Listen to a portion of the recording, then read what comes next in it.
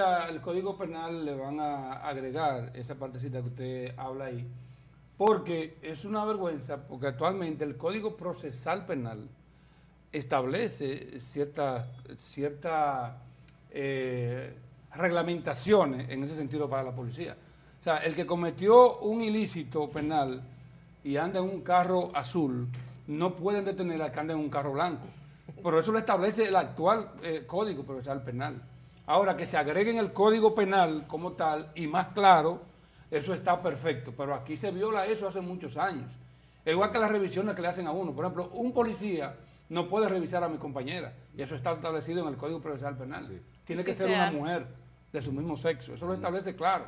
Y aquí el policía hace la mano, le mete la mano por donde quiera y todo, y esto es ilegal. No tanto en las calles, sino en los propios aeropuertos.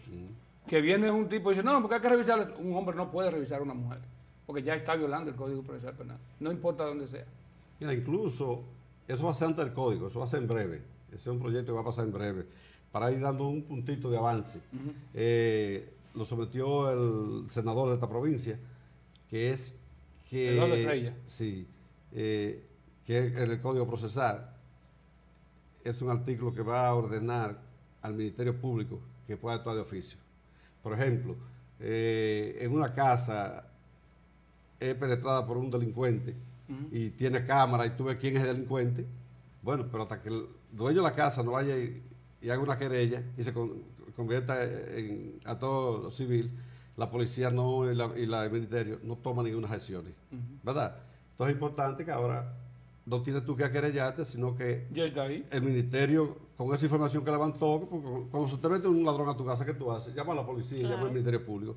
Con la evidencia que ellos levantaron, con eso es suficiente para que de oficio ellos persigan a los que tienen que perseguir por esa acción delictiva. Entonces eso parece a simple vista eh, algo sin importancia. Sin embargo, para el país, para el país va a tener importancia capital, porque igual que nosotros sometimos también, eh, son muchos proyectos, sometimos que Conani, por ejemplo, el caso de los, niños, pueda ser, eh, actuar como actor querellante porque, ¿qué sucedía? Eh, Conani recuperaba un menor, porque su familia, su padre lo maltratan, esto, aquello, pero hasta ahí llegaba.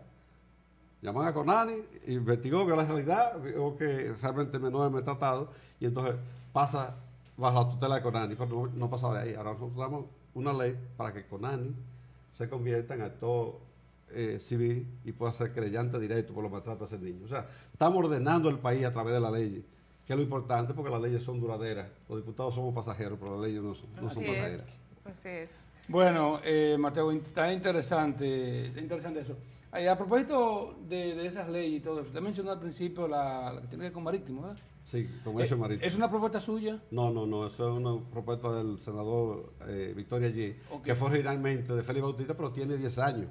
También el Congreso dando vueltas. Y entonces estamos, estamos sacando esos proyectos importantes para el país que tú no entiendes. Señores, ¿Y por qué dura tanto? Así fue con la ley no, porque no le interesaba, parece que las cosas estuvieran en orden. Yo no entiendo, ¿verdad? Porque no vamos a negar que los presidentes, tanto los del pasado, Leonel como Danilo, tuvieron sus intenciones. Pero no sé de dónde hubo el tranque. Porque tú lo que la ley de regiones únicas. ¿Y qué es una ley de regiones únicas?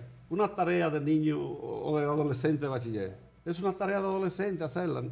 Porque he dividido el país en 10 regiones. Una región, provincia para allá, provincia de Santiago, provincia de Puerto Plata. ¿Por qué?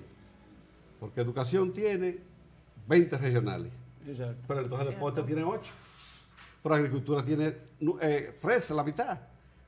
Pero supérate tiene 25. eso no está claro. Eso no está claro. Un Estado no puede manejarse así. Bueno, ya hay 10 regiones, todo lo que se va a planificar, además con el censo se van a levantar todas las informaciones en detalle, hace un censo con mucha información para poder hacer políticas públicas, que es lo que el país le hace falta. O sea, estamos avanzando y el país puede tener la seguridad que lo que estamos haciendo es en beneficio del orden, que nunca ha querido ponerle el punto sobre la I. Siempre la politiquería, siempre hay que buscar los votos.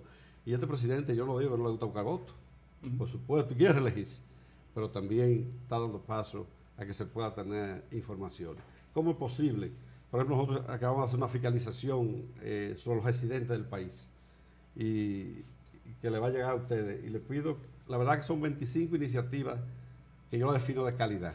O sea, nosotros no estamos haciendo eh, iniciativas por estar a la moda, ni, y son todas leyes. Por ejemplo, eh, un colega, un- una calle, le quiere poner nombre de tal personaje, eso está bien, ¿verdad?